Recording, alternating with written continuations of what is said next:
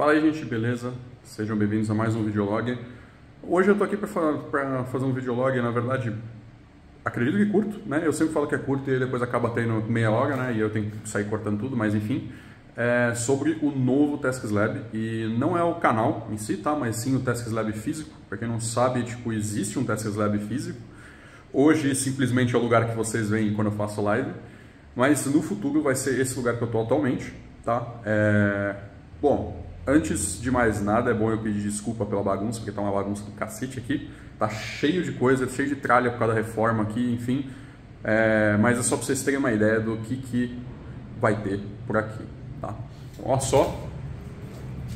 É isso aqui tudo.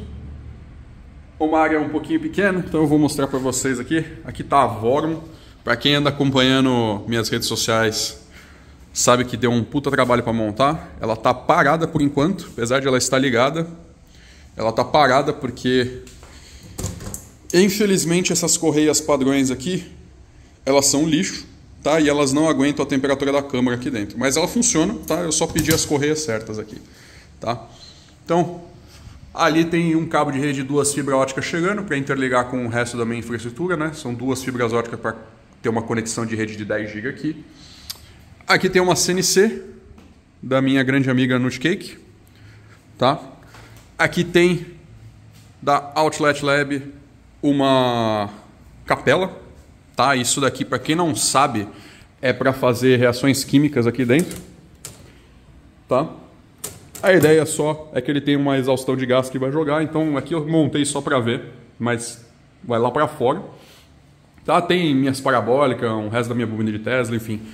Aqui vai ser um banheiro aqui, tá? Então, tudo certinho aqui. É, ali que tá toda fodida a porta ali, ter que mudar a porta, mas ali tem a entrada da rua. Né? Aqui tem um vidro aqui, porque aqui a ideia era ser um estúdio, né? Então, se vocês olharem até aqui, ó, o canto aqui todo é, de fundo infinito, não sei se eu vou manter, mas a ideia é tipo esse lado aqui vai provavelmente ser um laboratório aqui de eletrônica, enfim, coisas do tipo. Desse lado aqui, um mini laboratório de química. E, bom, aqui no meio, que tem um espaço, vai ser provavelmente uma salinha para os vídeos e tal. Né? Tipo, vai ser tudo aberto aqui, né? Tipo, eu pensei sempre, eu pensei no começo em separar no meio e fazer um estúdio de podcast, né? Porque vocês veem, já tem o vídeo aqui, né? Já pseudo a prova de som, né? Obviamente não é prova de som porque tem um buraco lá em cima, mas dá para colocar tudo lá. Né? Tipo, eu pensei em fechar aqui uma parte aqui, fazer um estúdio de podcast e tal, mas eu falei, ah, mano, isso daqui é para tipo, pra ser um laboratório, tá ligado? Eu posso fazer um podcast no meio do laboratório, basta ter a mesa, né? E eu acho que fica até um ambiente mais legal do que a maioria dos podcasts tem, né? Então a ideia, tipo, é essa área toda aberta aqui, entendeu? E aí, laboratórios nas paredes, né?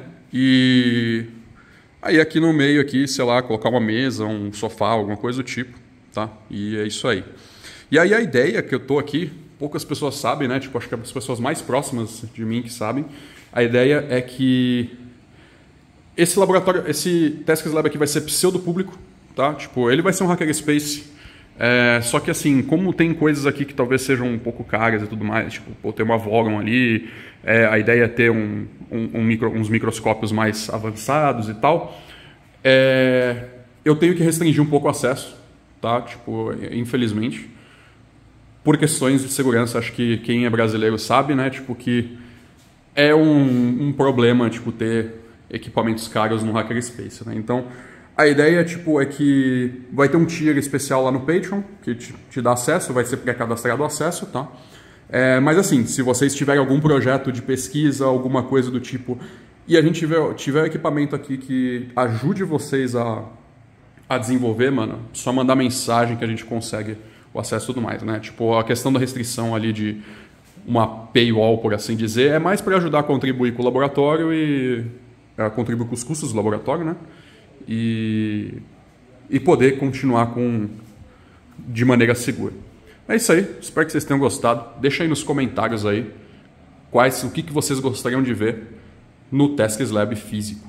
E é isso aí, até a próxima.